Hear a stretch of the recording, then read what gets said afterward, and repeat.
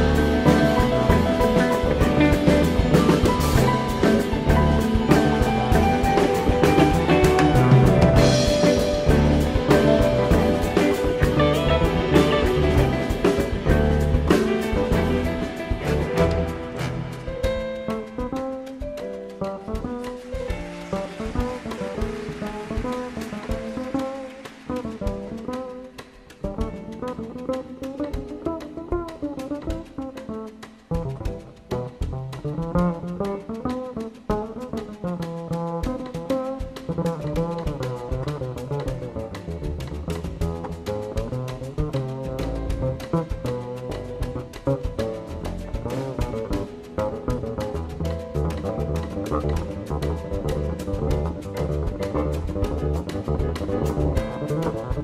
you.